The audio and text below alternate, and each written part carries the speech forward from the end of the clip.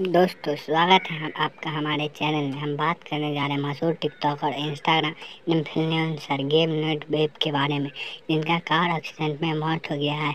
उनके परिवार वालों के लिए बहुत दुखद समय आ गया। उनके लिए नहीं, पूरे दुनिया के लिए एक बहुत दुखद समय, क्योंकि उन्होंने इतनी कम उम्र में इतना कुछ अचीव कर लिया था, जो किसी एक किसी एक आदमी के बस की बात नहीं है।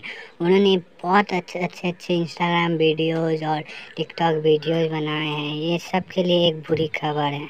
और बहुत से लोगों को कहना है कि उनका लौट आ जाना चाहिए।